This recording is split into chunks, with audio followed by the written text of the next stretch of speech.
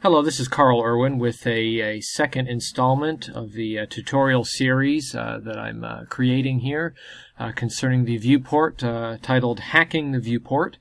And uh, in this episode, episode number two, we're going to be looking at creating this space scene which incorporates some of the elements that you can find in the original project if you look back at the trailer to the series and also the uh, first overview episode. Uh, you can see that project. Uh, and uh, this is what we're going to be making. So if I uh, hit play here, you can see this uh, video move through. What we're looking at is a, a nebula. And a nebula is, if you look on Google, a nebula is well, it used to it used to be sort of this ambiguous term that we used for any kind of uh, uh, element in space that was kind of unknown. So galaxies and whatnot were all referred to as nebula, but uh, now the modern and uh, current terminology refers to these uh, uh, areas in space that are made up of different gases and particles. Uh, so you can see these uh, images of various nebulous and very interesting looking things. Um, some of them, you know, look like uh, they could be fabricated with smoke simulations. Uh, some of them are, are not quite so dense, uh, such as this one over here. Um, you see lots of various, you know, different ideas. In fact, you know, when you do a Google search, my guess is that many of these are not even actual uh, nebula images. Some of these are probably uh, fabricated, uh, you know, composited images uh, that are put out there on the internet. So, you know, obviously something like this. Uh, but we're going to be making something like that, as you can see in our uh, demo video here. So, again, one more time, take a look at this, what this is. And the original project had some elements like this. Now, the purpose of doing this project uh, today is that we're going to um, deal with uh, one of the primary uh, limitations. Again, if we're hacking, uh, we are going to have to address limitations and try to work around them or overcome them uh, in in an effort to extend the capabilities of the system here. So the largest limitation, as I explained on the overview uh, episode was uh, the issue of draw order and alpha transparency. That is uh, the ability to look through textures and have uh, opaque areas and then transparent areas and having all of that render properly in the viewport without pressing play on the uh, game engine player. So we're going to have to find a way to uh, get all of that transparency to work properly directly in the viewport. So uh, let's take a look at the actual project and then we're going to sort of start from scratch and try to build uh, some of this. If, if not all of it, we'll try to make something uh, relatively close. So again, this is the viewport, uh, actual viewport view, and if uh, I play through this, you can see that it plays back in real time. And you know this is this is everything that's in the scene. the only thing that is not dealt with here is the uh, color grading and uh, also um, a couple of uh, post-processing effects uh, that that deal with uh, some uh, motion blur and things like that. So there's a couple things that we, again, some limitations we just can't get around in the viewport. one of those is the ability to blur our images. We can't do that direct. We have to find some other way to deal with that. Uh, and uh, that would include motion blur as well. So we have to find another way, and we'll we'll talk briefly about that. But the goal here again is to get as much in the viewport as possible. Because if we can render as much as possible in the viewport, it cuts down on our rendering time and it will cut down on our post-processing uh, list, uh, things that we need to do in post-processing. So let's just quickly look at what's in the scene and then we'll try to put it together. So if I pull out of a camera view, you can see that we have our cameras back here. Uh, and we see all these smoky kinds of things. It actually looks pretty interesting even from uh, outside of the camera view. There's a lot of three-dimensional space there, but if I, uh, rather volumetric looking three-dimensional effects, but if I start to rotate the camera, you can start to see the two-dimensional uh, um, aspect of these different elements. So you can see that uh, these are really just several cards uh, different billboard type images that uh, have some sort of alpha transparency. You can see as I come around behind the back, the uh, alpha transparency fails, uh, and that is because of the issue of draw order. Okay, uh, so let me, let me go back around to the front here. back to the camera. so one more time, we'll play this back and we'll try to put this together. Okay, so this is what we're going to be making, something like this. Uh, let's start a new uh, project. Let me save this one first, and we'll open up a brand new project starting from scratch. And the first thing we're going to do is we're going to go to the, uh, actually the first thing we're going to do is we're going to open up our uh, render settings here, our, our shading settings, and we're going to set it from multi-texture, which is the default, to GLSL, which is going to give us OpenGL, all of the capabilities of, uh, of OpenGL uh, that Blender has in the viewport. Uh, which uh, among those capabilities are some of these issues that I talked about with texturing, materials, uh, transparency, and uh, most importantly, what we may look at later on, uh, this uh, will enable the ability to play back video files frame by frame in real time within on on a in a flat image plane. And that is something that we may want to be able to do in the future. So GLSL, we want to enable that. Also be aware of the uh, display mode only render. We're going to be switching back and forth uh, to that quite a bit as we put this together. So the first thing that we're going to do now is uh, go to the uh, front view and then we will align our camera, our active camera to this view. And again, I'm working on a laptop, so I don't have a number pad on here. Uh, we're going to grab this camera and move it up on the uh, z-axis. So you don't have to do this. In fact, you could keep this on the top view looking down, but I like to do this because having that plane in there just gives us some uh, orientation within our scene. Uh, the, the feeling that we're actually looking down a corridor or away from the camera on uh, on an axis, and that we have this uh, left and right x-axis and an up and down uh, axis. So uh, it just gives us a little bit of reference as we're moving around the scene. So I like to do this, uh, even though we don't really have to for what we're doing. Uh, I'm also going to delete our light. We're not going to need that light in particular. We may use a light later on, but we don't need that. We'll delete the default cube. We're not going to need any of those things. now, before we go any further, I need to explain that what we're going to be doing is we're going to be importing a number of textures. So if we look here, I have a few textures that I've already set aside, and I'll open up an Im image viewer here and we'll look at them.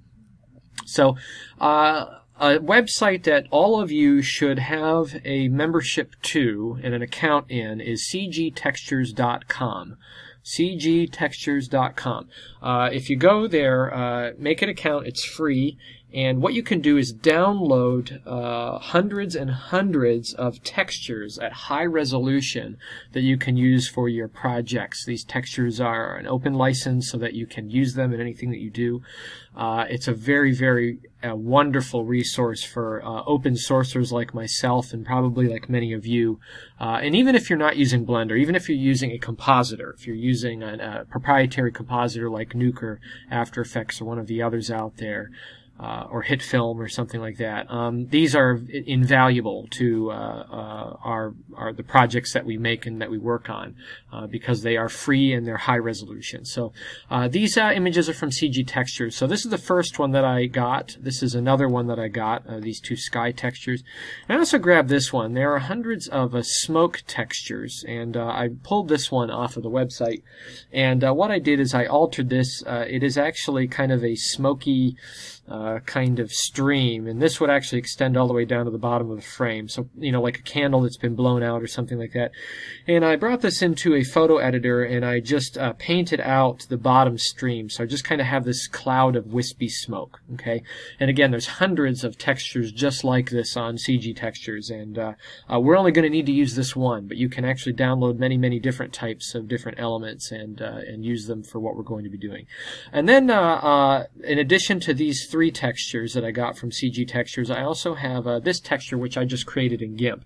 Uh, and what I did is I just put a couple of dots in the screen on a black uh, uh, uh background. And I have uh, three different colors in here. I did red, green, and blue and white. And this is going to be used for a star field. And notice that there's not a lot of stars on here. and keep in mind that stars, the reason why I'm using different colors is that stars in space are not always points of light. They appear to be points of light, but some of them are reflected objects, such as planets and even some of these nebula, uh, things that are way out there in space that uh, are so far away they just appear of, as uh, uh, spots in space. And if you look very closely at some NASA imagery, you'll notice that some of these stars, because they're not all uh, you know, balls of burning gas, uh, because some of them are reflected, they have color.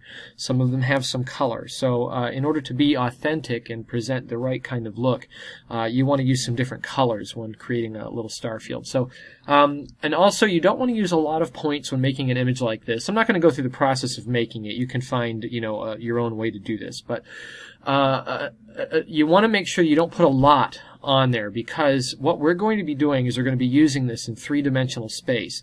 And the composite of various uh, uh, instances of this star field image is going to add up to quite a few stars very quickly so you want to be kind of sparse uh, and very random in it. I will say that what I did is I put some dots in there and then what I did is I copied the image and then I uh, pasted it and I slid it off frame so that the edge of it is in the middle and I did this a number of times so that uh, what I did was I ended up taking the edge of my original image and I ended up replacing it with the interior uh, sections of the original. Okay, and uh, hopefully that makes sense to you. But the reason why I did that is because as you make an image, a single plane, we have a tendency to not be as random as we think that we are, and uh, you may tend to put more objects near the frame or too many objects in the center and avoid the uh, frame edges and you want it to be absolutely even so again I made my original image then I copied it I slid it over I pasted it on and I did this a few times until I came up with something truly random because uh, we're going to uh, use this in an array and when we make an array we don't want to notice uh, uh, clear patterns in our array. We don't want to see um, uh, places where there's a big uh, condensation or a big um, gathering of stars in any one spot. We want it to be truly random. Okay, so these are the images that we're going to be using now. Um, another thing that I did before we get into the project, excuse me, is we uh, I took uh, this image and I made a new image. Um, I changed it, I altered it. I took the um, uh, saturation out of it, quite a bit of it, and I created kind of this gradient to black all the way around the edge. And uh, I took the uh, uh, uh what am I talking about here? I took the saturation and uh, uh, I, I, just took all the levels way down. I took the luminance out, uh, so the contrast is taken away, so that I came up with something like this. Okay, and uh, we're going to use it for a subtle effect. I not only did it with this image, but I also did it with uh, the uh, ignore this planet. this is something that I did too, thinking I might use it. I decided not to, um, but this is something we'll probably look at in another uh, tutorial down the line, a way to make two-dimensional planets. You don't always need to have three-dimensional objects for uh, three-dimensional objects when compositing. So uh, oftentimes your three-dimensional objects can actually be two-dimensional cards. So this is a project that we'll do in GIMP probably later on um, I did this. So with this uh, other image that I had, I, I, did the same kind of thing. I took the contrast and saturation out. I applied a gradient to black all the way around the edge so that I kind of mask out this uh, central part uh, that we're going to use. Okay. So again, the uh, images that we're using in the end is this one, uh, this one here, and uh, this smoke wisp, plus the uh, image that I created for the star field. And those are the elements that we are going to use. So let's go to the, uh, uh, let's go back to Blender here and uh, get to it. So the first thing that we're going to do is we're going to start importing some images and applying uh, some material settings to them. Uh, so let's grab the most background image. Now, as we do this, um, you need to make sure that you enable a important add-on, and, and I'm actually surprised that this is not on by default. I don't believe that it is. Maybe it is, and I've, I've missed this. But um, if you go to your add-ons and type in image uh, as planes, this one right here, import, export, import images as planes. You want to make sure that that is checked. This is a vital add-on, and uh, really ought to be a default uh, set as default uh, on the install. I'm not sure that it is right now. I think that it's something you'll have to enable, but it's something that you're going to want to use. We can find this here uh, in the um, file import uh, drop down and you see here images as plane. So I'll click on that. It will take me to a browser and I'm going to go to my uh, folder where I have my textures and uh, if you click on this button right here it will change your display mode so that you can see the thumbnails of what we're doing. Uh, I'm going to start with uh, this one right here uh, so this background this will be our furthest background image and uh, I want to change some settings. I want to make sure that my settings are set to shadeless. Um, you can use this or not. This doesn't really have any alpha transparency on it. By uh, you know, I automatically click that just so that it's available all the time. Um, if it doesn't have alpha transparency, then it won't matter. But if it does, then it'll be enabled. And you want to make sure that you're set to Z transparency for transparent images. Anything that has alpha transparency enabled on it. I think by default it's on mask. Okay, so uh, these three things you want to have checked, and then we'll import the image. And uh, right away we will uh, scale it up. I'm going to rotate it on the x-axis 90 degrees so it's facing the camera. I'm going to come down here to my uh, display, uh, uh, my shading uh, selector here, viewport shading selector, and I'm going to set it to texture. So now I can see my image uh, in real time uh, through the OpenGL render engine. before I go any further, I'm going to go over to my world settings. I'm going to click on the horizon. I'm going to set my horizon color all the way to black. Now, uh, I've learned that in projects you never want to have absolute all black and you never want to have absolute all white uh, in the end. However, we're going to deal with that in our in our uh, color grading when we get to the end of all of this. If uh, you're not going to do any kind of post process or video sequence editor OpenGL uh, color grading, you want to make sure that when you use background colors, you never use the uh, absolute black, but maybe bump this up just one notch uh, so that you get actually a slightly off black. Okay, the white is not so much of a big deal, but the black can be when you start to render render out uh, to video uh, with compressed settings. It can really make your out uh, your output file look kind of crummy and uh, uh, really dark and white's blown out and all that kind of thing. So just you want to decrease your contrast as much as you can. Okay, so we have our first image, and I'm going to take this and I'm going to move it uh, back on the y-axis way back and you'll see that I'll get to a point where it disappears. And uh, that is a problem because we want to be able to see way into the back here. Now what we need to do is we need to set our clipping on our camera. So if I go over to my uh, camera select the camera and go to the camera settings you see here that it has a setting for clipping start point 1 and 100 we're just going to throw that way up to uh, a thousand Okay, it's not really going to be relevant for what we're doing. So uh, this can be really, really high. It's not going to slow us down at all uh, in, in terms of the space that we're going to be using. Now if I go back to my camera, I can now see my uh, my plane way back there in the distance, and uh, it is it is uh, in view. Okay, so let me select my image again, and I'm going to scale it way up. I'm going to try to fill the frame here uh, somewhat. So we'll get it probably about that big. And then what I'm going to do is I'm going to go to the uh, render uh, settings here. Right now we're on the internal render. We're never going to use cycles in this tutorial. Uh, and I'm going to set it to Blender Game, and that's because the game engine gives us some special material settings that we need to use. Now, uh, I've done this on other tutorials. Uh, we're going to change the blend mode for this material to an add blend mode. Now this setting is not in the Blender internal render engine uh, material settings. And uh, someone once mentioned on a tutorial that I did uh, in the comments that that is strange. Why in the world would that be? And uh, it's not strange. It's not strange at all. The reason why it's in here and it's not in the internal render is because this has no effect in the internal render output. Uh, this has an effect for making games, for using the game engine.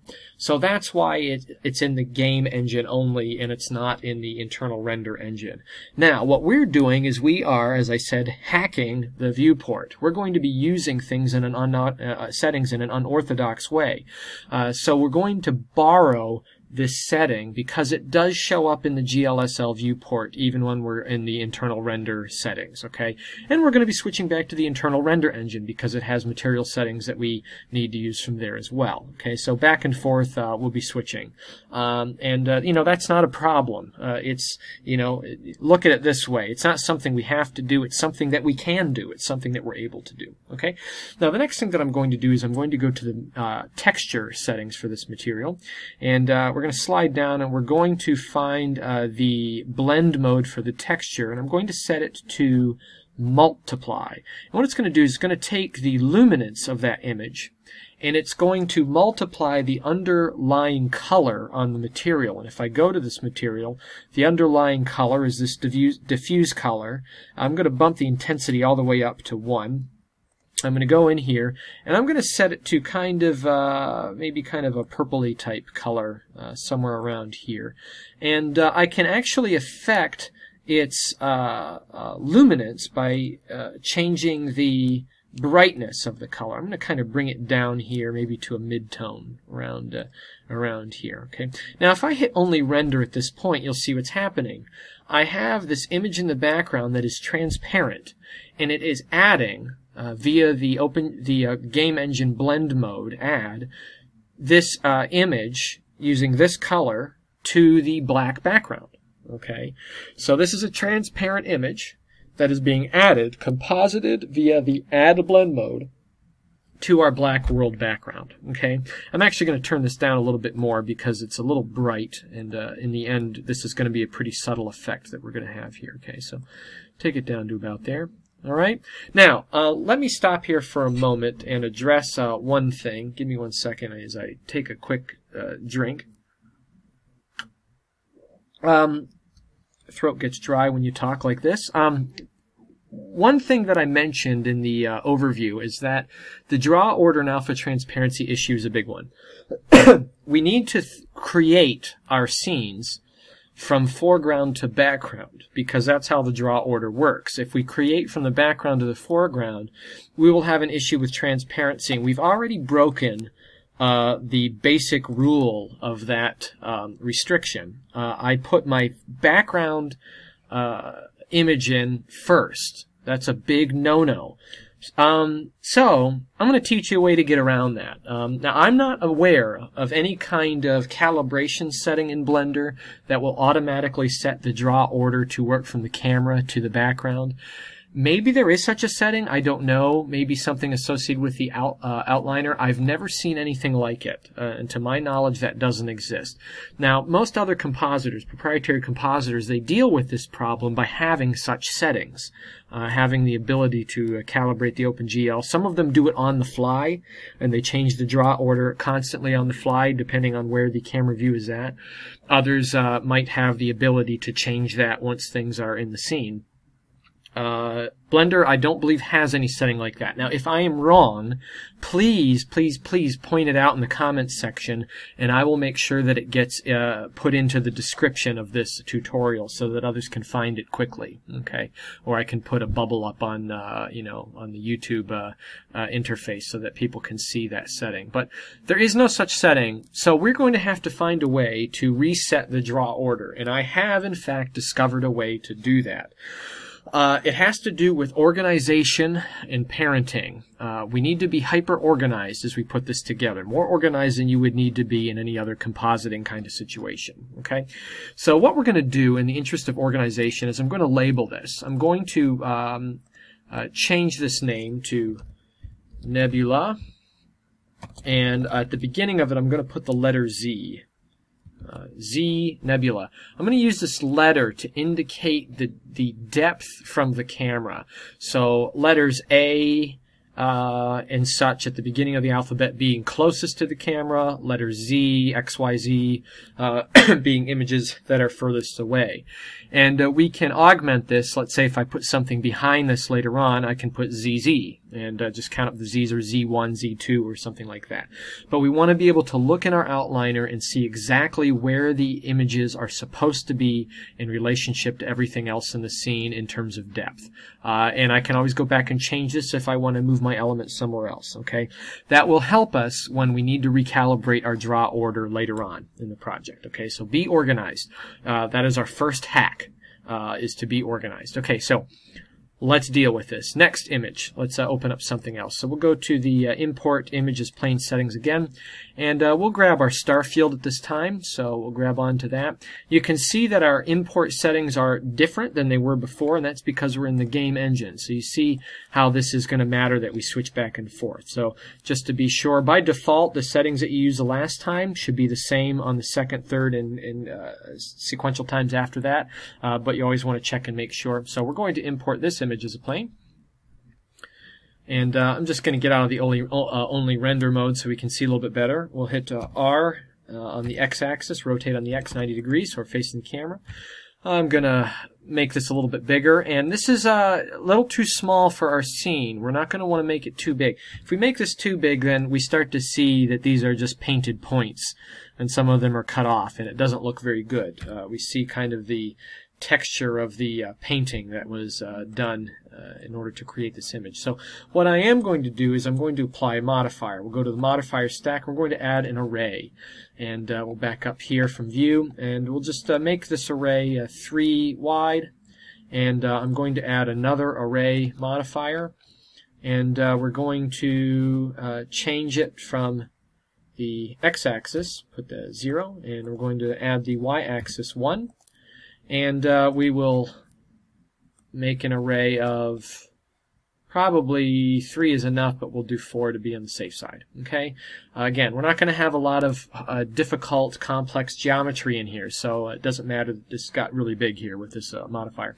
I'm going to apply it now, uh, both of these modifiers, uh, because we're settled on this uh, new image. And uh, what I'm going to do is I'm, i want to get my point into the center, my uh, anchor point on this object. So I'll go to the object settings and I'll click on transform. And I'll go, uh, I'll click on origin to geometry, and it puts the origin now in the center. So as I move it around the scene, uh, I can grab onto it from the centermost point. I'm going to uh, move out of my uh, view here. I'm going to slide this thing back in front of the backmost plane. I'm going to give quite a bit of distance out here though. Uh, you can see we've already, we're covering a lot of ground here and our camera's not going to be moving that far. So we do want to be quite a bit further in front of this image. And uh, I'll go back to my camera view. We want to scale this up so that it fills our frame and then some, just a little bit bigger. And uh, if I click on my camera, I can see it. I want to click on my um, let me go to my camera settings real quick and make sure it's all set up all the way to 100. It's on high definition, 1080p. I'm just going to render one frame here and just kind of see what the output uh, looks like. So just to make sure that our stars don't look uh, too painted. And I think we're good. I think we're okay with uh, this right now. So we'll go back to the 3D viewport. And I'm going to select my star field and we're going to go back to the Blender game engine. And again, this is just kind of an uh, automatic response for me uh, once you understand what we're doing here, you'll do this automatically as well. We want to set the add uh, mode to, or rather the blend mode to add, just like we did before. And uh, I want to go to the texture settings, and we're going to, actually we're going to leave that alone because it already has its own color in it. We don't need to set that to multiply.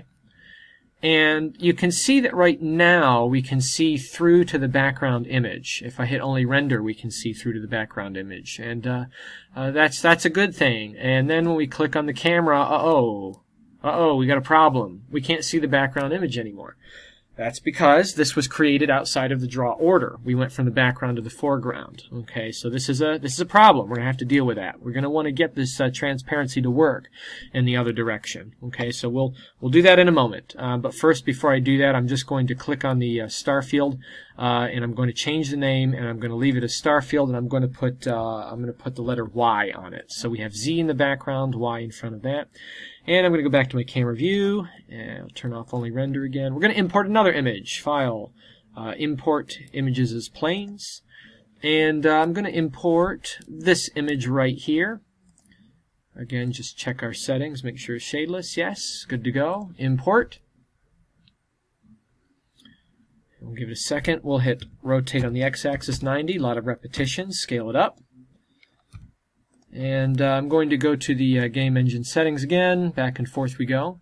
So someone might look at this and say, wow, this is really a pain in the neck. Remember, we're hacking the viewport. Okay, always tell yourself that. We're trying, we're going to get this to work, uh, when otherwise it wouldn't work. Okay, so just remember that there's a, there's a goal to this and it's well worth, uh, our effort, uh, jumping back and forth here. I'm going to, uh, on this one, I'm going to set the blend mode to multiply, uh, as I did on the background image. We'll go back to the uh, material color, set the intensity all the way up to 1. And uh, we're going to put this more kind of on a uh, bluish type color. Uh, maybe a little less purpley in the background. And I'm going to set it all the way up to the top, okay, in terms of luminance. And we're going to slide this back uh, so that it's a little ways away, if you can see in here, uh, from our star field plane back here. We want it to be kind of sitting a little bit in front of that so that we get a little bit of parallax motion. Okay. You can kind of see where my line, as I move this, if you see here where my line cuts out, that's because it runs into that transparency, so I can see my depth uh, that way. So I'll put it right about here, and we'll go back to the camera view, and we'll scale this guy up so that it fills the frame. And uh, we'll move it uh, down, slightly down on the uh, z-axis here, okay? And uh, we'll call this uh, nebula and we'll call it X. Okay, and uh, let's go to uh, let's let's bring in another uh, uh, star field, but we don't have to bring it in. What I can do is we can click on our star field in the back, our Y star field. I'm just going to click on it. I'm going to hit uh, Shift D to duplicate, hit Escape. Then we'll drag it on the uh, Y axis in front of the second nebula move it out here a ways. Okay. And we come back to the camera viewport now. We do not want to have this in the same position as the other star field. There's a few things that we can do. I can slide this over so that we're getting a different field of stars, or I can uh, do a combination of things. I can rotate this on the y-axis uh, so that it doesn't line up with the stars behind it and maybe even slide it out of uh, view in a couple of different uh, directions. So that now we're using some different stars here. Uh, I might want to find a more uh, slightly more concentrated part just so that we are, are not cutting out most of our stars from the scene here. So maybe right about here. Okay.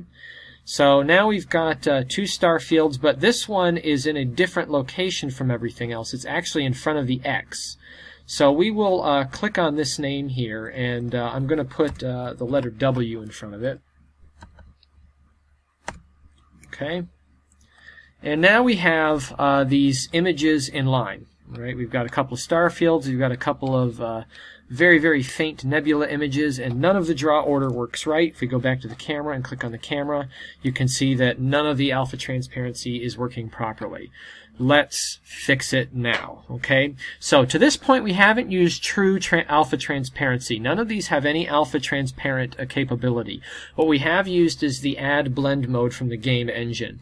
Now, in any version of transparency, and there's actually several versions of transparency. There's the alpha transparent version. There is the uh, game engine uh, add mode uh, version. There's also the X-ray transparency version, and uh, we'll get to that later on. There's a secondary uh, type of transparency that can be added as well uh, from the uh, Blender render engine here, internal render engine, if we go back to that, uh, that you can see uh, on a, a, an object in the uh, object settings. You can see X-ray, and there's another transparency. All of these things uh, have their kind of own category unto their own, unto themselves in terms of transparency. So far, we've only used one type. We've only used the add blend mode type of alpha transparency. Okay, so we're dealing with all images with the same kind of properties. Um, that's going to be important later on because we're going to add other images that will have different types of transparency. What I want to do here is uh, recalibrate this. So the way we're going to do it is I'm going to add uh, a, we can use either the create uh, toolbar up here, or we can use the add toolbar down here. It doesn't really matter, it does the same thing. We're going to add an empty, plain axis empty. And I'm going to call this draw order.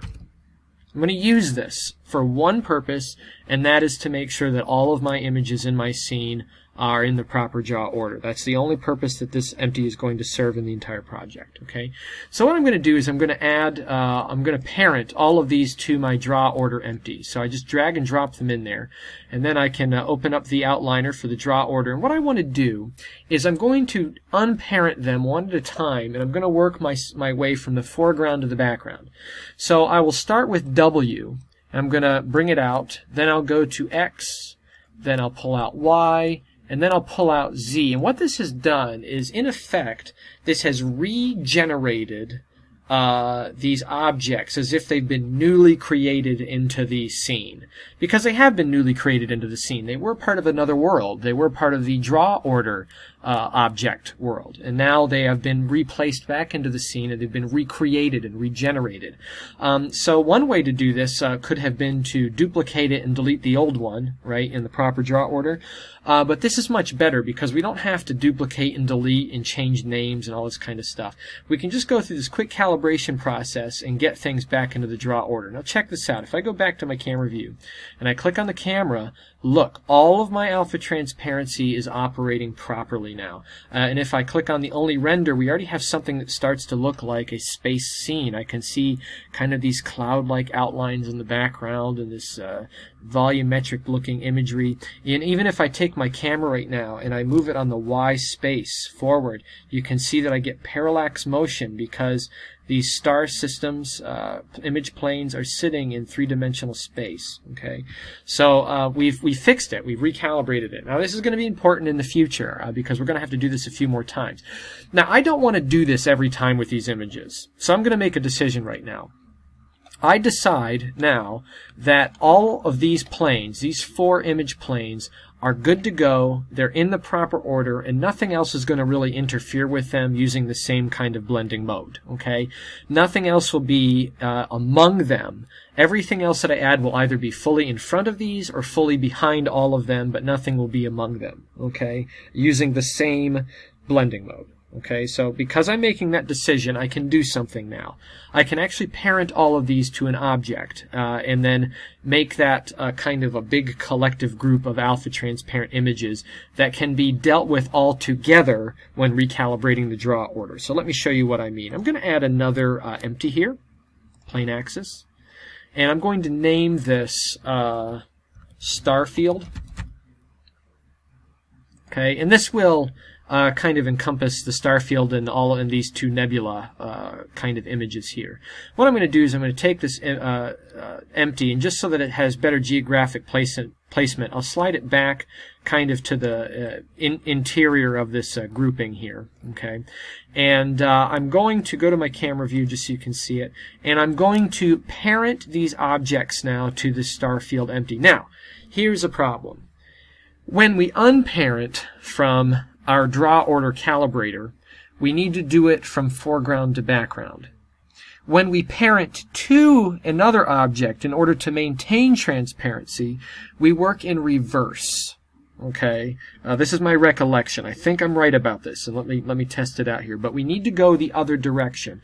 So if you understand these idiosyncrasies, you can do this very quickly and efficiently. Okay, so again, the next hack is that we're going to group these together. We're going to parent them to one object so that that one object can be dealt with when we deal with draw order down the road. Okay, we're not having to recalibrate all these images. So I'm going to start from the background first. I'm going to parent a Z nebula to Starfield. I'm going to parent Y starfield to starfield. I'm going to parent the X, and I'm going to parent the W. Okay, so now if I go to my camera, you can see all of my alpha transparency has remained. Now if you do this out of order, uh, just to uh, demonstrate to you, uh, let me let me put these out out here back again. So we're going to start foreground, bring them back in so we can see W, X, Y, Z. If I go in the wrong order and I go from foreground to background parenting, Look what happened. Already you can see that this isn't going to work. W, X, Y, Z. You see how nothing is nothing's working now. I'm stuck with my foreground alpha transparency. You see, you see the problem. Now this can be frustrating, but I have done the legwork for you, and I have I have found out uh, that there's a way to get around this. There is a hack to this. Okay, so W, X, Y, Z. We're in the proper draw order. And to parent back in, we go in reverse Z, Y, X, W. Okay, so all of that to describe a very simple issue uh, in dealing with draw order. Okay, so now we're good to go. All of those are parented together. I can take this entire empty of objects and deal with them when I recalibrate draw order with other uh, categories of objects in the scene later on. So I've turned four objects essentially into one. Okay, Let's keep going. We're going to import another image as a plane. So we'll select another one, and uh, we're going to take this uh, smoke image here, this wisp, and uh, all the settings are the same. Import the image as a plane. I'm going to rotate this again on the x-axis 90 degrees. We're going to scale it up. And again, we're going to use the same uh, same kind of mode. This doesn't have any alpha transparency in it, so I'm going to go to the game engine. And we're going to set it to add. Because it's a black and white image, we can use the white uh, to multiply the color. So if you follow me, I'm just doing the same things I did for some of the other images. Turn our intensity up. A lot of repetition here. Uh, and uh, we'll use a kind of a more of a pinky color here for this one. And uh, we'll scale it up quite a bit. Turn on my only render so I can see here. Now again, this is out of draw order. I just put it in front of all of the other images in the scene. So what I'm going to do is I'm going to have to recalibrate that when I'm uh, done with this. So we'll scale it up. I'm going to move it back so it is in my scene uh, not too close to the very front plane here. Okay, about just as equidistant away. Okay, go back to the view, camera view, and uh, we'll scale this down a little bit. It's a little bit big. I'm going to slide this one over here to the right, uh, rotate it maybe on the uh, y-axis. Okay, and uh, we'll call this um, we'll call this uh, smoke. Uh, we'll call it X. Oops, rather X smoke. Okay, I'm going to duplicate it. Shift D to duplicate. I'm going to slide it over, and you can see that we have alpha transparency problems.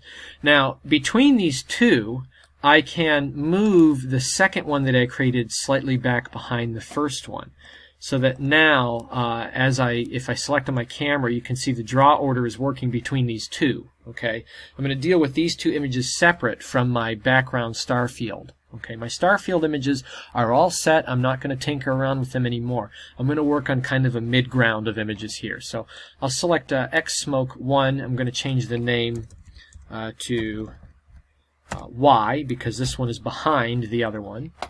And uh, we'll scale it up a little bit, rotate it uh, on the y-axis around, and uh, we'll set this kind of in a different location. Maybe I'll scale it down just a little bit from there. Okay, and maybe rotate it so it's not quite so symmetrical. And uh, now if I click on my camera, you can see these two images in there. Alright, so what I'll do is I'll take these two images and I'm going to place them uh, together in another empty. Alright, so let me just uh, click on this so I can see a bit better. We'll add another empty, plain axis, and I'll slide this one back kind of to where these uh, images are at. And uh, we'll call this empty smoke. Uh, and I might actually want to do this. I think it'll be self-explanatory. I was going to put a letter on that so we can keep track of it, uh, foreground and background, but I don't think we're going to have that many to, to get too confused. I'm going to parent these objects to the smoke empty. Remember, I want to start foreground to background to keep the draw order proper. So I click on X, and I drag X in, then I drag Y in, and now I have two objects, I have smoke and star field that are in the wrong draw order. So if I go back to my camera, you can see the alpha transparency isn't working right. So I'm going to recalibrate these. I will uh, drag both of them into my draw or order calibration and I will bring them out from foreground to background, which is smoke first, followed by star field second. And uh, I should, let me see here. And we should be able to see this working, but you see that there's a discrepancy in the alpha transparency here. So let me let me look at my smoke layer real quick. My Y smoke may need to move back. Let me click on my X smoke. Let me bring these back out here again. X, Y, I may have done this wrong. I think I wanted to go Y first into smoke, X second into smoke, and click on the camera. I think we're good now. Okay. So I, I put those in in reverse in the wrong order. In fact, we still have some draw order issues because now that I've done that, uh, my draw order is, is off again between the two objects. So we'll do this one more time. So foreground first, background second, and now we're golden. Okay, so uh, again, there's a logic to it that uh, you want to understand. All right, so now uh, if I were to render, if I click on only render, click on camera, I should be able to see everything in my final output exactly as it, it, it should be. So we're seeing our different elements in there. Background element, middle element, stars. Uh, we can check this by taking our camera and moving it through Y space to see if we're getting parallax motion. And we seem to be getting parallax motion on everything. Control Z to undo. And uh, let's add something else into the scene. So we've got uh, two different groupings of objects. Both of them are using, all of them are using the add blend mode. Let's try something a little bit different. Uh, I'm going to go to my smoke layer. I'm going to duplicate uh, one of these again. Uh, shift duplicate, Shift D. Uh, and I'm going to bring it outside, unparent it. And I'm going to rename this. I'm going to rename this 3D uh, smoke. Okay. All of these are two-dimensional images set in three-dimensional space. We need something that's actually three-dimensional. Okay. Uh, and actually what I'm going to do right now, just to kind of get, get a little bit more space in here, I'm going to take my smoke uh, grouping and I'm going to move them back a little bit. If I go to my camera view, uh, I can enlarge that whole grouping now. So you see that now that we've parented things together, we can deal with our elements. We're kind of making a separate composite here that we can deal with all together. I'm going to go to my uh, new smoke element, 3D smoke, and we're going to add a couple of, um, uh, let me come out of my only render display here. We're going to add uh, a modifier. I'm going to add a subdivision surface modifier. We're going to bump it up to five or six. Five's probably good. I'm going to click on simple, so it's just subdividing the plane. And then I'm going to add another modifier. We're going to add a displacement modifier. And uh, by default, the displacement modifier, when we click on new texture, adds an image texture, which we don't have one in there. So we need to click on the texture slot. And we want to change that from image to uh, cloud, clouds and you can see what it does. It adds this kind of de deformed uh, look on it. Now I want to make my deformations a little bit bigger and more general, so I'm going to go to the cloud uh, texture. I'm going to enlarge it quite a bit until I find something kind of interesting. So maybe right there at 0.75. And I'm going to keep my depth low uh, because I don't I want it kind of blotchy, so it gives us these really big broad waves. Then I'm going to go to the uh, modifier itself, and I'm going to change the strength 2. Let's change it to 3. Let's change it to 4. Let's go even bigger. Uh, that's that's pretty big. Let's go now to our camera view. Now you're going to notice something before I do that. See how it's intersecting with my other images? Now, I've already talked about draw order problems. This can't work. Okay, this can't work with uh, the draw order issue unless we use a little known um, uh, underused setting in the uh, object settings that will allow us to buck this draw order problem, okay, when using the add blend mode. Uh, what we're going to do is we're going to go to the camera view, we'll look at our uh, texture here, and uh, I'm going to click on only render so I can kind of see where I'm placing it. I'm going to rotate it on the uh, y-axis and kind of find a different alignment here. Think I might, uh, actually I'll set it down here. So it's kind of pointing up. Rotate on the y-axis a little bit. And uh, what I'm going to do is I'm going to uh, change the material settings a little bit. We're going to go to the object settings. And under the object settings, uh, we'll find this under display. There's this setting called X-ray, another one called transparency. We're going to click on X-ray. Now what X-ray does is it tells uh, the render engine that anywhere that this object is, it will always show through every other object in the scene, even if it's a solid object. Okay, so by clicking X-ray, this object will show through every other object in the scene, even if it's a solid object. And because of that, it will buck our um, draw order issue with transparency. So this can actually sit in three-dimensional space and intersect with these other planes, and it won't matter. Okay, so let me go back to the camera view, and you'll see if I click on the camera and I move the camera forward, on the y-axis, we have three-dimensional volumetric effects going on here because one of these smoke planes is moving forward in three-dimensional space. Now, they're all using kind of the same color, so I want to change this one a little bit. I'm going to click on my 3D smoke. I'm going to go to the material settings. and on the uh, material, I'm going to click on this number 3 because it means that three different objects are using the same material. I want this to be assigned its own material. So now I can change my color. I'm going to make this one more blue uh, like that. And I'm actually going to go to my X and Y smoke, and I'm going to take that color and I'm going to bring down the um, uh, darkness a little bit, so it's not quite so overwhelming in the scene. Okay. So now if I click on my camera and I move my camera forward in uh, Y space, we can see this relationship change a little bit. A little bit more definition there and difference. Okay. Um, now this isn't, you know, you want to spend some time working at this and making it absolutely perfect, but you can see how this is getting put together. Lots of little subtle uh, things going on here, little subtle details to make this work together. Uh, let's add something else. I think we're done with all of our nebula. Let's add, um, let's add to the scene a uh, light of some sort. Okay, so I've released a lens flare pack called GL Flares, and I also released another one called GL Flares 2.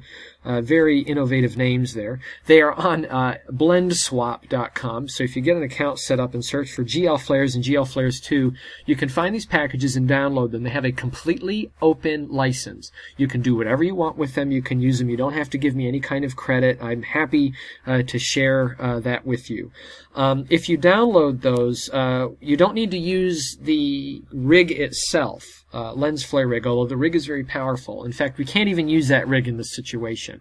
Uh, but what you can use is some of the elements from it. So what I'm going to do is I'm going to import another images plane. We'll go to Object, uh, rather, uh, sorry, File, uh, Import Images Planes. I'm going to navigate real quick to that um, uh, my folder for GL Flares 2 and I'm going to select one of these flares here. So I'll select uh, this one called Streak 8. And uh, just to make sure my settings are still proper. They should be, but just to make sure. And uh, what I'm going to do, once this uh, opens up, rotate it on the x-axis like everything else, 90 degrees, scale it up. Oh, by the way, too, if, if we move through the scene here, notice on my uh, X-ray uh, object, you can see that once I get into a position where I'm looking at the other side of the normals, or it's reflecting on itself, that the uh, alpha transparency begins to break down. Um, that is another limitation. There's no good workaround for that. Okay, it, you know, this is kind of a, a, place where we run into a dead end, and you're just going to have to work around these limitations in the way that you set up your scenes. Uh, you want to make sure that when you're using alpha transparency, that images don't double back on themselves, because there really is nothing you can do about it. Uh, you're going to run into those sorts of problems. Okay, uh, so that is a, that is a, a, limitation that we can't contend with. But you know what? So far, so good. I think we've dealt with quite a few big problems uh, so far. So uh, just be aware of that one. I don't have an answer for that. Um, this is common in even some other compositors too. So uh, just be aware uh, that whenever you're using these image planes that you want to be looking at them head on even when you're displacing them. Okay, so I imported my streak. I'm going to move my streak all the way to the back. Uh, put this way back here. Now, I've already talked about draw order issues uh, with uh, with respect to the uh, time, uh, the order in which we create these objects. And I've talked about the X-ray uh, setting, uh, and that that will buck the draw order. And we've already put one X-ray image in here. Now the cool thing is that within these different types of blending modes, such as the X-ray, the draw order applies within all all objects that are using that same mode, meaning that this uh, the the next object that I create with an X-ray will shine through everything in the scene, including the objects that were made prior to it using X-ray as well. You follow what I'm saying? So now that I've created this after my uh, smoke, uh, if I apply X-ray to this as well, it will shine through everything else when I click on the camera. You can see it back there. It shines through, it works right through everything else. Okay, so I'm going to go back to my streak. I'm going to size it up quite a bit. Uh, we can't really see it uh, through the uh, alpha here when we're clicking on it. You might you might find that you want to disable some objects just so you can see uh, temporarily. Just turn it off in the viewport. We'll scale this up uh, to about the size we want it to be. This is way in the back of our scene. And uh, I'm going to go to the game engine again. We'll play this gag another time here. And I'm going to set it to add. We're not going to set it to multiply. We're going to use the uh, colors that are already in it. And I'll just kind of position this in space uh, in a place where it just looks like it fits. Now, if I'm using my rule of thirds, uh, I would want to put it probably somewhere around here, and the last one I put it up here, or maybe up here, or, you know, it's offset uh, uh, on the x and y axis to kind of a place where uh, you know a third of the image would intersect with a third of the image uh, on the x and y axis. X and y meaning from our point of view or X and Z from the point of view of the world. Okay, uh, and maybe I'll scale it down just a little bit from there. All right. So now if I click on Only Render and I click on the camera view and let me enable my 3D smoke again up here, you see we've got a scene put together. You know, this is pretty good. Uh, you could actually start rendering from here and set up a camera move and, and be golden. We're going to add a couple more things to this uh, and also talk about how we can do some color grading as well, and then we'll be done. This is a really long uh, tutorial, I understand that, but we're covering a lot of content here with respect to uh, alpha transparency and draw order. All right, uh, that will help us in the subsequent tutorials after this. Uh, so the next thing, let's add uh, let's add in here a glimmer in the background. You saw that on the original uh, video that we had this uh, glimmering going on. If I go back to that, play through it, you can see uh, in the background we have on this flare we have these light rays kind of glimmering. So we want to we want to generate that in some way. So we're going to add another image plane uh, import images as planes. And uh, in this same pack we're going to find an image that looks like this glimmer 2 which kind of has a hole in the center of it. Click on that. And again our settings should be the same. Give it a second. We're going to rotate on the x-axis 90 degrees uh, scale it way up and we're going to change our uh, blend mode to add again. And we're going to use uh, this to uh, texture to multiply because we want to change the color and the luminance. So we'll set this to multiply. We'll go to the material settings, so change our color, uh, set the intensity all the way up, change our color kind of to an orangey looking color maybe somewhere around here. And we'll take the uh, luminance way down. It's a subtle effect. We don't want it to be overbearing. Almost, almost imperceivable. Okay. And we'll take this now and we're going to slide it back uh, to where the other image is at. Now the quick way to do this is to select our other image, uh, streak, and we'll go to Object Settings. We'll hit uh, Snap cursor to selected, and then we'll click on the um, glimmer image, and we'll go to object, and we'll hit uh, snap uh, selection to cursor. And uh, back here, what I want to do is I'm just going to move it slightly behind the other image. Okay, so it's slightly behind it in uh, Y space. That way we won't have any draw order issues. We'll go back to the camera view and uh, I'm going to turn off my streak real quick. And I'll turn off my 3D smoke so I can see back there. Select the glimmer. Scale it up. Uh,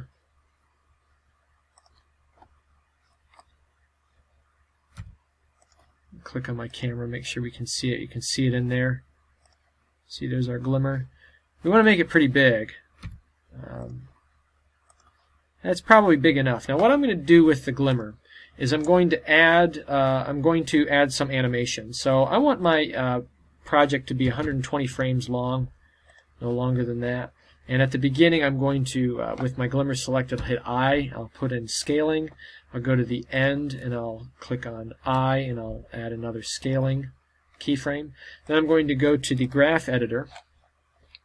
I'm going to click on scaling and on the X and Y scaling, I'm going to add a modifier. I'm going to add a noise modifier. Now, because this is way far away, find my X here, because it's really big and really far away, I need this, this noise to be huge. It's going to be pretty big. So we're going to bump it way up to 100 because again, it's really far away. So we need to, you know, a, a lot of, uh, a lot of noise is going to get us very little result. Uh, so let's uh, let's try that, and then I'll click on the y-axis and I'll just add noise. And we want to make sure that this setting here and this one are the same on both of them uh, because we don't want uh, the scale and the phase to be different. We want the noise to be exactly the same. Okay, so all these settings want to be the same, 100 here. And we'll go back to the 3D viewport, click on the camera, and if we hit play, we should see this thing kind of flickering. You see how it's flickering a little bit back there? Okay, so that's uh, that's what we're looking for. As the camera moves in our scene, we want to see that flicker. All right, so we'll turn on the uh, streak again. Now we can see the streak adds on to this uh, flickering image in the background. You can see that hopefully on your uh, screen moving around. Very subtle effect. It adds a whole lot. And now we can turn on our 3D smoke and we see everything here. Okay. So now at this point we could uh, animate our camera or we could one up even further and add a couple more effects. I want to add two more things. We're going to add um, a vignette. Again, we could add a vignette later on, but we want to have as much in the scene as possible. Okay? The more elements that we can get into the scene, the less we have to do in post-processing. So let's add one more thing here. Uh, vignette. I'm going to, whoops, wrong thing. File, import images as planes.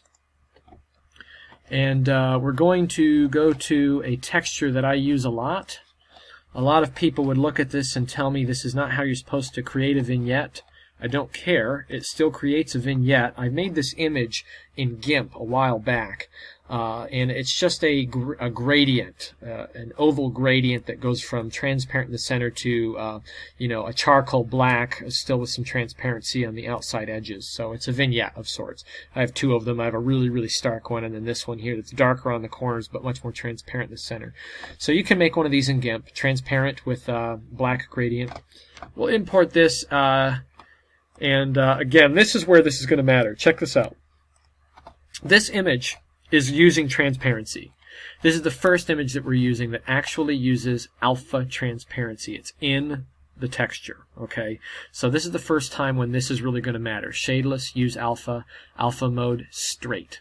Okay, we want to use straight transparency. So I'll import this image.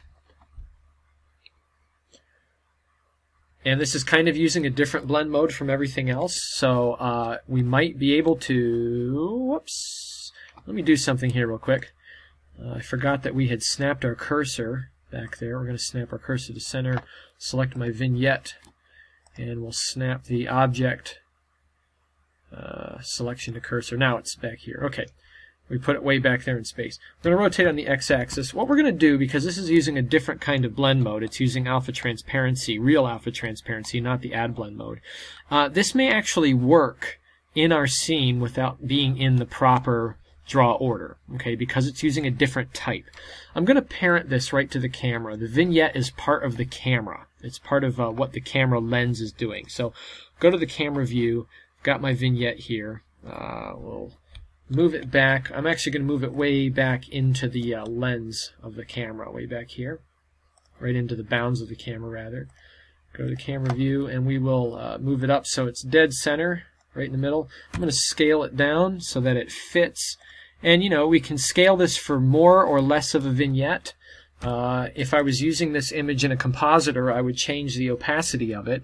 And here, because it's a gradient, if I want more of a vignette, I can scale it so it meets the bounds of the camera tight. Or if I want less of a vignette, I can just scale it up so it's using less of the gradient. Okay, so we're, we're really using this as a three-dimensional object in order to create, create this uh, optical effect, right? So now if I select on the camera, we can see if our opacity works. It does.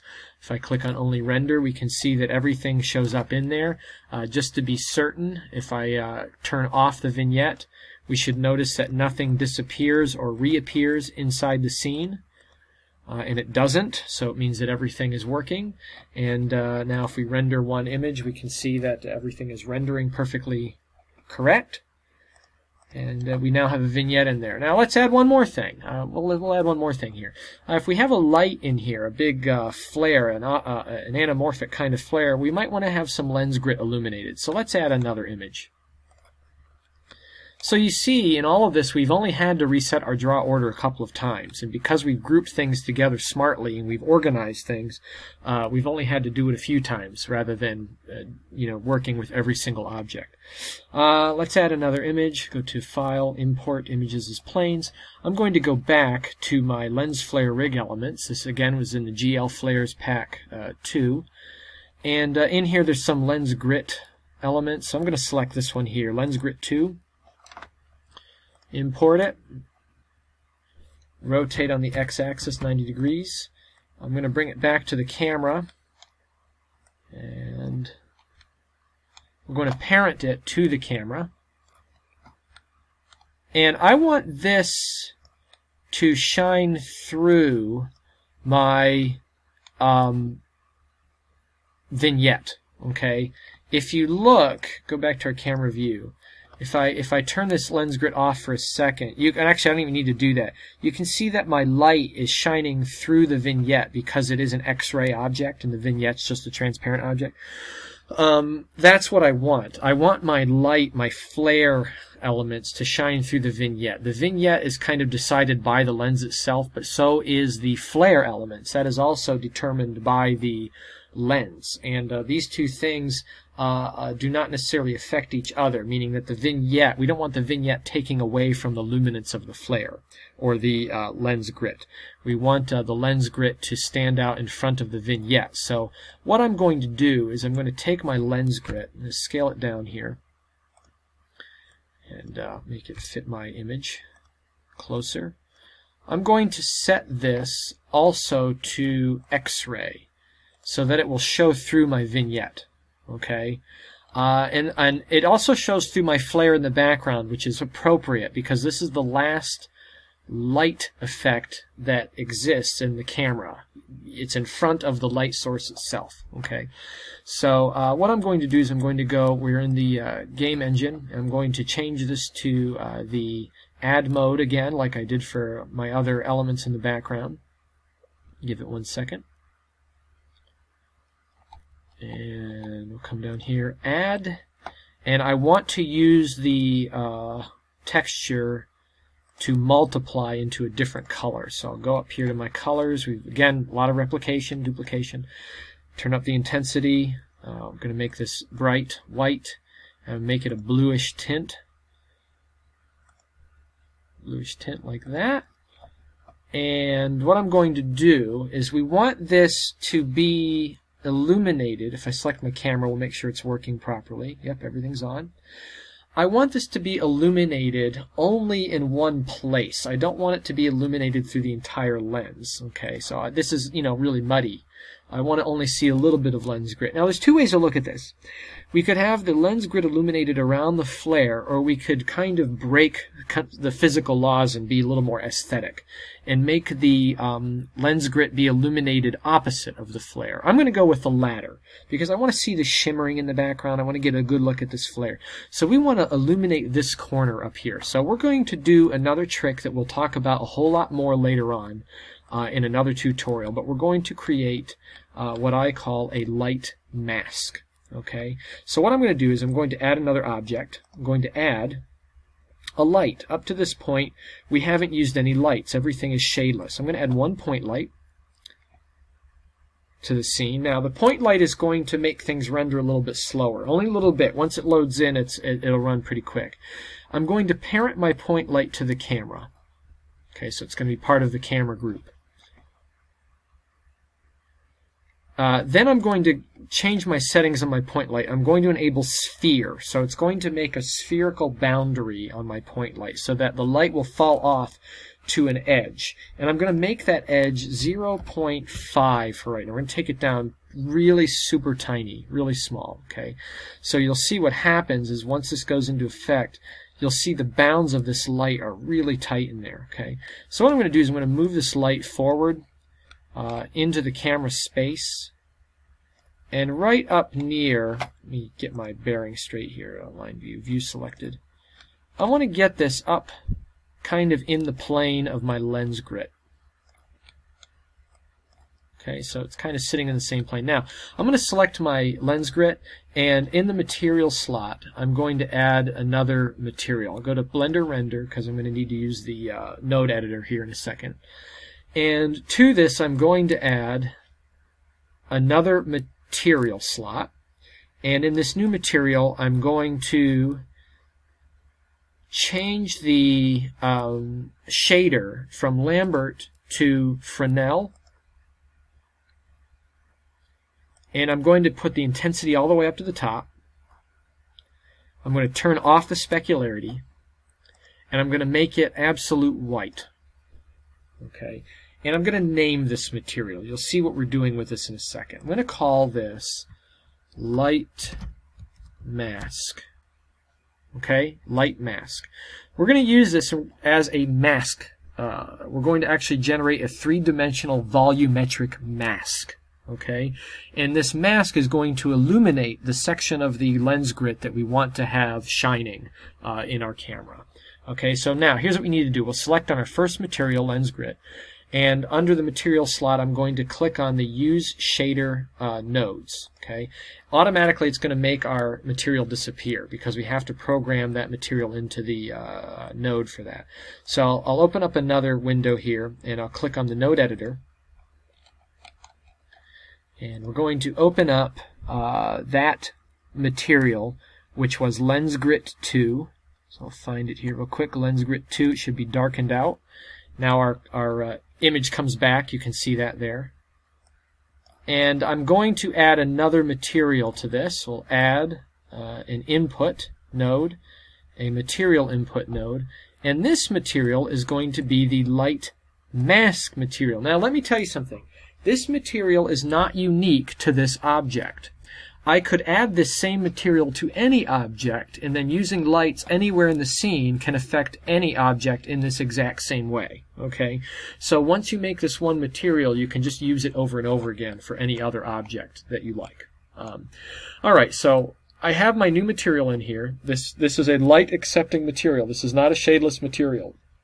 The lens grit is a shadeless material, but this is not. Okay, I'm going to add here a color uh, mix RGB, and on the top, I'm going to put a black color, absolute black, and on the bottom, I'm going to plug in my lens grit. Okay, and uh, we're going to leave it on mix, and I'm going to take my material, uh, my uh, uh, light mask material, and I'm going to plug that into the factor. Now, if we look at the camera view, look what's happening. We're done with the material at this point. If we look at the camera view, you can see what's happening. My light, see my point light down here, wherever I move it, it is now illuminating my material and bringing it out. Okay, so I can indicate where I want, in fact, if I turn on the only render, you can see it a lot better. I can indicate where I want this uh, lens grit to be illuminated. So I want it to be kind of in the opposite corner here. So we'll go to this side. And maybe I want the uh, energy to be a little bit higher. So I'll turn my energy up to 2 on my point light. Give it a second.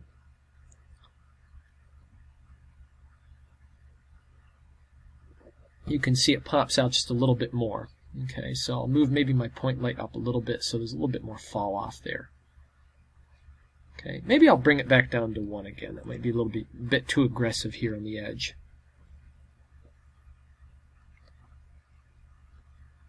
There we go.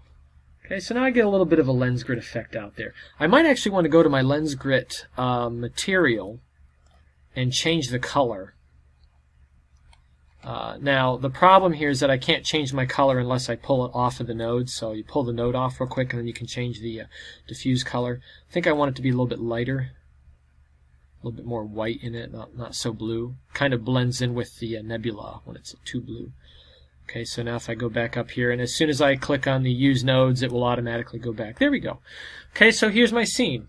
Uh, now the last thing I have to do here is to select on the camera, and we'll just add a quick camera move. So uh, I'll uh, where I'm at right now, I'll click uh, hit I, and I'll put in location rotation. I'll go to the end.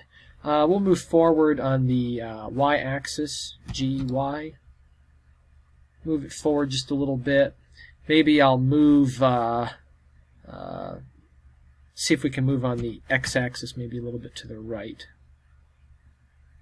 And uh, I'll rotate it on the z-axis just a little bit.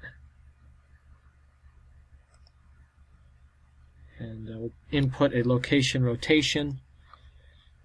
And if we come back, we have our camera move. Now, I, I want this to not have an F-curve on it, so we'll just go to the um, uh, graph editor, and I'll hit V, and then I'll select vector for the keyframe handling and it will make a, a straight shot uh, point-to-point -point move here.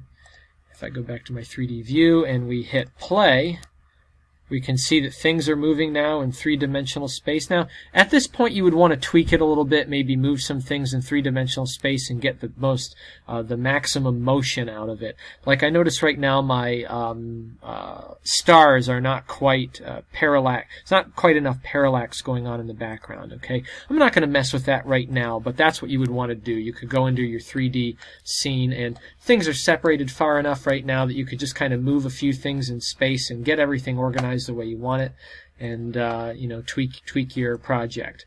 Okay, so you could render this out right now and be done. Um, we're going to we're going to uh, uh, one up this uh, once again and add a little bit more uh, uh, finesse to this. So I want my render settings to be HD 1080p. My final output is going to be 720 HD. Um, now here's why. I'm going to add another scene, new scene. In the new scene, I'm going to add a camera and on this camera, I'm going to make it, uh, there's a preset here, HD TV 720p. Uh, I'm going to go back to my first scene. Uh, we'll let it load into the OpenGL render engine, view camera. And uh, I'm going to go to the video editor, video sequence editor, and I'm going to, in the video sequence editor, select scene one, my new scene. Okay, so this is the new scene. And uh, if I click on default, I should automatically go back to my regular scene. So that's why I did that in this order. Okay, so we can jump back and forth here. Uh, up here, I'm going to get out of the graph editor. We're not going to use that really for anything. I'm going to click on the properties uh, settings here. This is 720p. My original scene is 1080p. Here's why I did this. The Blender OpenGL GLSL engine will uh, do anti-aliasing. You can find that up here, by the way, in the Render uh, tab and come down to OpenGL Render uh, uh, settings and click on anti-aliasing. You can set your samples here, right? Change your alpha mode here, sky or transparent. This is just kind of quick settings, okay? Uh, right now we want it on sky because we're using the black background. Um, anti-aliasing does not work in the video sequence editor when you're using scenes. Okay, it doesn't work. So if you've ever imported scenes as strips, which is what we're going to do, we're going to use the OpenGL preview. It won't do anti-aliasing. You'll get very blocky, a, a very blocky outcome. Now, here's here's another hack, major hack. Okay, Blender isn't intended to do this, but it does do it it up converts and down converts images so that they fit the composition size. So right now we have 1280 by 720. So anything we put in here, no matter the size, will be up converted or down converted to 1280 by 720. Which means that if I add my scene in, scene, not scene one, but scene, uh, and I change my OpenGL preview to texture, my 1080p scene will be down converted to fit 720 HD. Okay, uh, let me change my composition size here to 120 so we have the right number of frames. Now this is a benefit because because it does this, it is sort of forcing an anti-aliasing practice to occur. Okay, you see it's not blocky. It should be blocky, but it isn't blocky, especially if you have uh, solid objects in there. because it's down converting, it interpolates all the pixels and comes up with a new pixel arrangement. It interpolates pixels together so that it can be down converted or up converted as the case may be uh, to generate the new aspect ratio and the new resolution. And that, in essence, is anti-aliasing. That's exactly what it's doing. It's not perfect, but it's pretty darn close. It's close enough that in the interest of hacking the viewport, uh, it does exactly what we want to do. Okay, so by having a higher resolution in the scene and then the lower resolution HD here, uh, I can get the uh, uh, anti-aliasing in the uh, video sequence editor. And this is very important when using perhaps objects that are in separate scenes and compositing separate layers, which is something we'll probably do later on. Uh, you want things to be blended together seamlessly and cleanly without that blockiness. Okay, so um, that's something that we want to do. All right. Uh, the next thing I'm going to do, just so we can move quicker, I'm going to turn this uh, to no display for the moment. What I'm going to do is I'm going to add a little bit of a motion blur. We're going to, this is the next hack, okay? We're going to do poor man's motion blur. We're going to interpolate our frames. Now, if you really want to do motion blur, I'm going to double, uh, by the way, what I'm doing here is I duplicated my scene and I'm going to move it uh, to the left one frame to zero. So now this top scene is occurring one frame ahead of the bottom scene. And uh, the way the stack works is that things that are on top are composited over things that are on the bottom. Okay, so it's layered from bottom to top. Uh, in here, I'm going to set my opacity to 0.1, so very low opacity. Uh, but this will be one frame ahead of the other one. Okay, we're going to interpolate the frames here from the previous frame to the second frame. Now, real sample motion blur does subframes, so there's actually frames in between the frames, and there's a number of samples. You can set the samples in motion blur to do that, to do five samples or 10 samples or 16 or 32 samples. The higher the samples, the better the blur. We're going to cheat this, and we're going to use the frames that we have already. Now, I could render the whole thing out from the viewport and oversample it, uh, changing the uh, uh, these settings here, uh, the end frame, and the time remapping to generate subsamples, and then I can change uh, the speed in here. We're not going to do that right now. We're going to do this the simplest way, the poor man's way. Because it's a slow move, we can get away with this, okay? So let me duplicate this again. I'm going to move it up one more, and I'm going to move this one to the right one frame. So this is starting on frame 2. And uh, I'll just move my cursor ahead so when we turn this on, you'll see what's happening. I'm going to set the opacity to 0.2. And I'm really going to step out of the bounds here. We're going to go another frame to the right. So we're really way outside the bounds. But I'm going to set this opacity super low, 0.08. It's not even uh, 0.1, but 0.08. Okay, so you almost can't even see it. But there'll be enough color in there that it will add kind of a blurring effect for the motion. All right. So if I turn my display back on now, uh, scene render size, you'll see what's happened. We now have, uh, you, you, can't even really see it that well. Okay. So if it's an effect that you can't see well, then it's a good effect. Uh, let me find a place up here. If I turn this off, and then I turn the next one off, and I turn the next one off, you can see how sharp this is right? And this is something close to the camera that's moving. So I'll turn them on now. So the second one, turn it on. Next one, turn it on. You can see how it's starting to blur, right?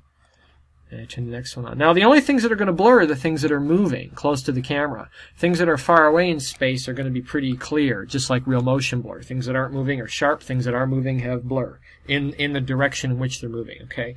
So poor man's motion blur interpolation, right?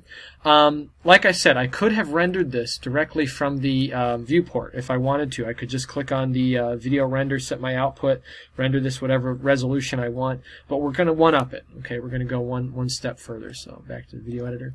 I'm going to add, now do some color grading. So I'll add here uh, an effect strip, and we'll add an adjustment layer.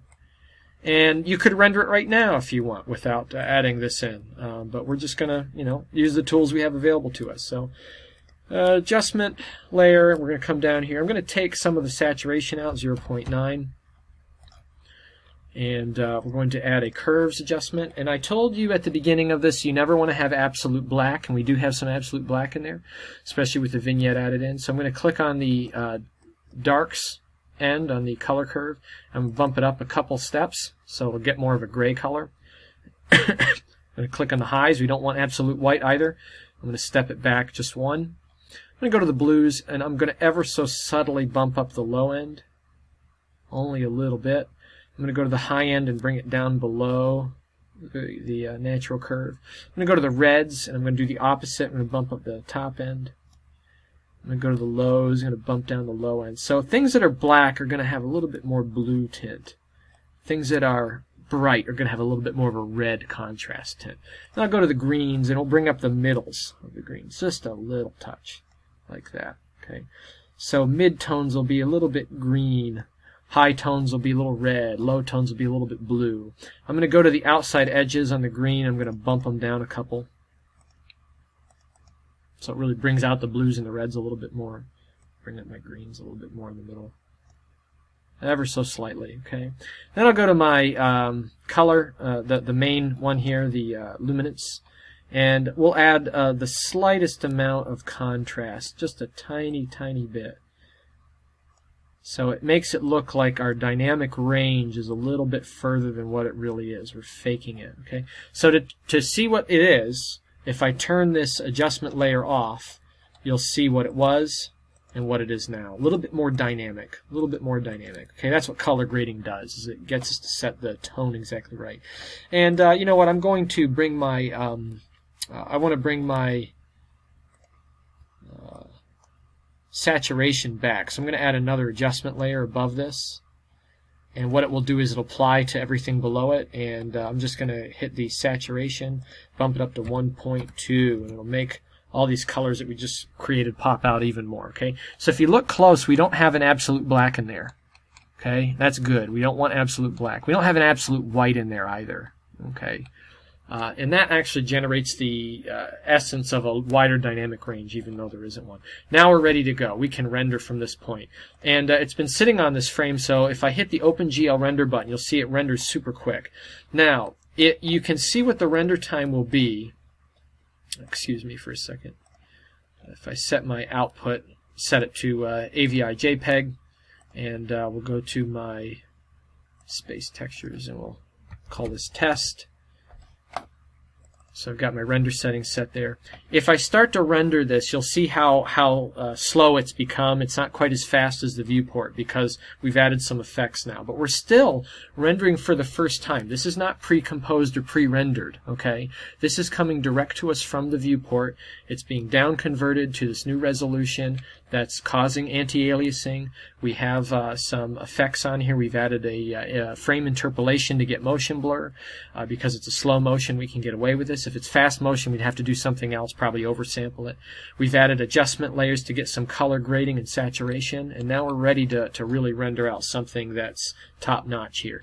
So if I click on the render button to render the single frame, you get one frame. Because it's been sitting here, this frame renders super quick. Okay, It's already been rendered in the viewport.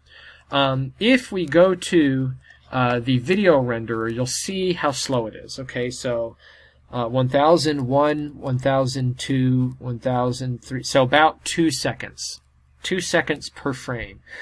Um, if you were rendering this from cycles something like this or rendering it from the internal render engine, you would be talking about minutes of render time. Minutes of render time rather than seconds. Okay, so two seconds of render time is awesome compared to that, especially when we're looking at essentially a full render. Now from this we can do more post-processing effects. We could uh, do some optical effects and change the uh, aspect ratio and the, uh, you know, add a, a, a, some sort of a deformation, lens deformation to it or something like that. Um, um, you know, all kinds of things. We could render out separate um, layers uh, from inside of the uh, viewport uh, and then use those separate layers uh, inside of uh, another compositor, right? And we can render our layers in a matter of seconds, uh, uh, minutes, and seconds between frames, and uh, get to compositing a lot quicker outside. Um, but you see the potential for all of this and how this works out. So already in the time that I've been talking here, we're up to about 20 frames. and if I go to my folder here, click on our test, we'll see the first second or so of our video. Oh, find it here. Starfield. Nope, that's not it. Excuse me as I blunder around for a second. Nebula Project. And we'll click on test. Here it is. So here's the first second of video and you can see how everything is coming out. We see that flickering going on in the background.